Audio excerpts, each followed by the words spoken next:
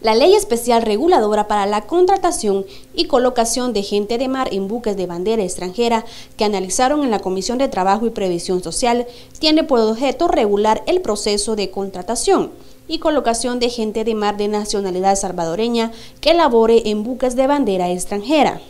Lo importante aquí es que se abren oportunidades de empleo para jóvenes salvadoreños, no solamente para marinos, sino que para jóvenes especializados en otras áreas, por ejemplo, en el Megatec, que son cursos eh, tecnificados, eh, tenemos espacios para baristas, espacios para eh, marineros, espacios para los que se dedican a la gastronomía. Entonces creo que es una buena oportunidad y que abre espacios de empleo para los jóvenes salvadoreños.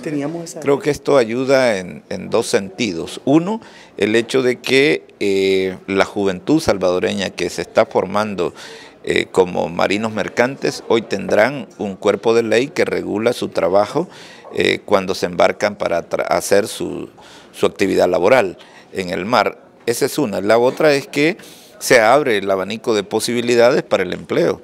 Es un elemento importante porque si bien es cierto, ya hay gente que está trabajando, algunos por la zona de Canadá y otros en la zona de Europa, pero no tienen un cuerpo de ley que regule sus derechos y deberes como trabajadores del mar.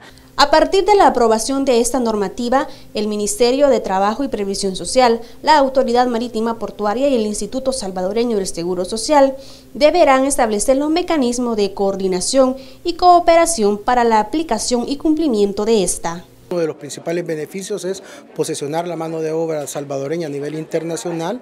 Eh, las empresas estarán viendo a, El Salvador que está cumpliendo con todos los estándares internacionales y esto lo que permitirá es abrirnos espacios en la industria marítima portuaria y obviamente aspirar a ser un referente en la colocación de marinos mercantes salvadoreños. Según la iniciativa presentada por el Ejecutivo, esta regulación especial es compatible con los principios constitucionales y las directrices de la Organización Internacional del Trabajo. Para TVL Noticias, Griselda López.